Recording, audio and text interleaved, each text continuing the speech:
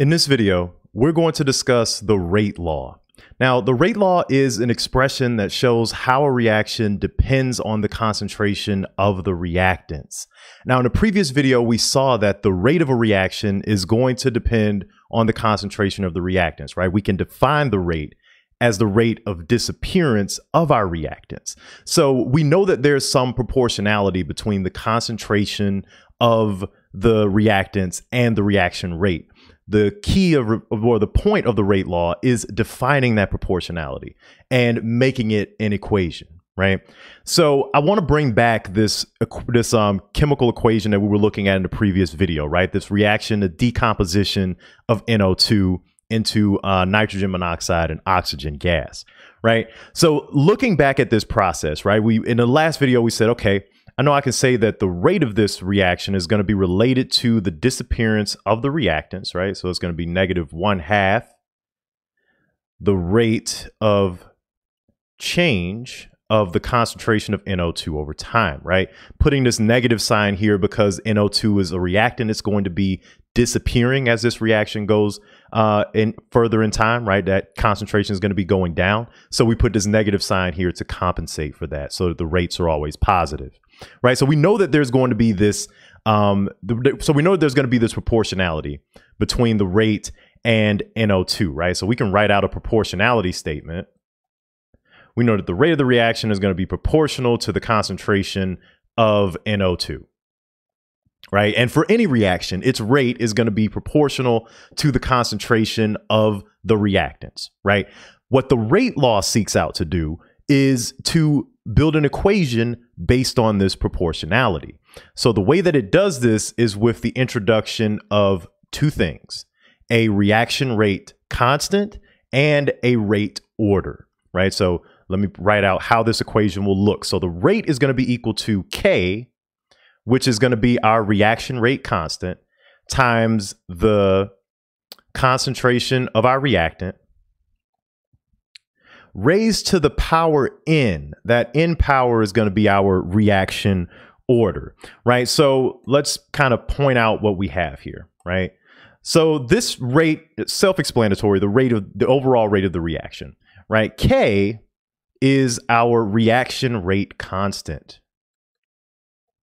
So reaction rate constant and this reaction rate constant is actually directly proportional to the speed of the reaction. So, um, so faster reactions will have a higher reaction rate constant, and slower reactions will have a slower reaction rate constant. Right. So, um, so it's directly proportional to the the rate of the reaction, as this equation would suggest. And n is going to be the rate order. So rate order right? So, what do we mean by rate order? What does that mean? Well, this is basically telling you how much the rate is dependent on the concentration of your reactant, right? So, let's say, for example, n is equal to zero, which it can be, right? N, n could be equal to zero here. If n is equal to zero, we call that a zero order reaction.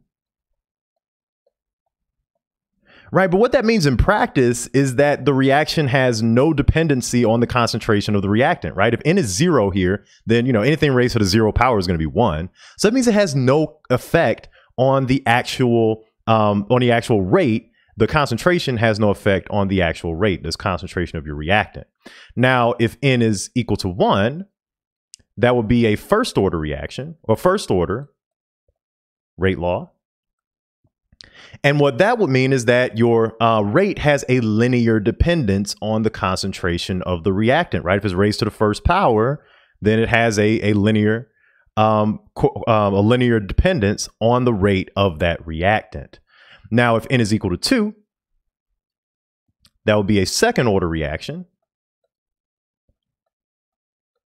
Right? And that would mean that the rate has a quadratic dependence on the on the concentration of the reactant, right? And obviously this number can go on and on and on. These three, zero order, first order, and second order are the three that you would really have to be concerned with throughout your studies of of chemistry for the most part, throughout really your whole undergraduate career.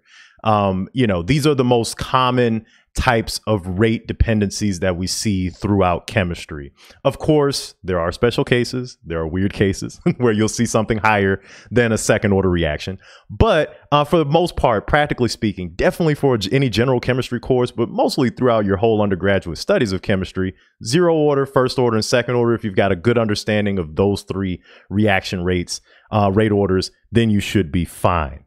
Okay, so one one other thing I want to say about this rate order um, very important. You can't determine this from the stoichiometry. You can't just look at a reaction and say, oh, I know that's going to be first order or second order. There's some rules of thumb you can establish throughout time, but in general, the rate order must be determined experimentally. So, must be determined experimentally. Right? So you have to actually do the reaction. You have to see how the concentration depends on the rate and actually determine it experimentally doing some sort of fitting. It cannot just be determined. You can't just say, well, because there's a two in front of this, it's going to be a second order reaction. That, that's not how this works. Has to be determined experimentally. You've got to actually look at some data or you got to actually do the experiment in order to determine what the rate order for a given reaction is going to be. Okay, so uh, there are two different um, rate laws that we will investigate. So there are two types of rate laws. Right, so the first is called the differential rate law.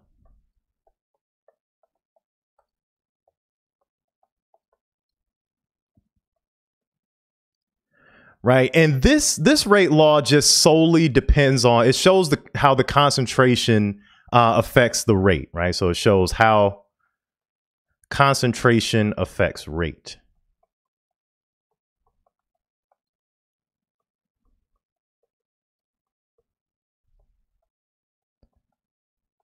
Right. So we already have uh, for this reaction, right? We have this definition of the rate.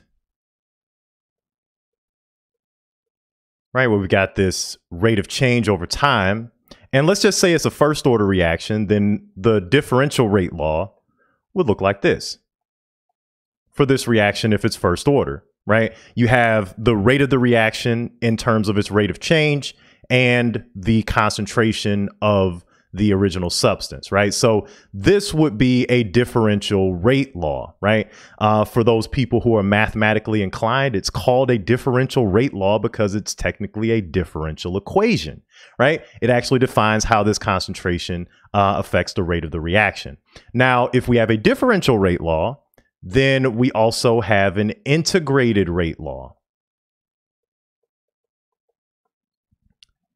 So an integrated rate law. And this really shows how the concentration changes over time. So, how concentration changes over time.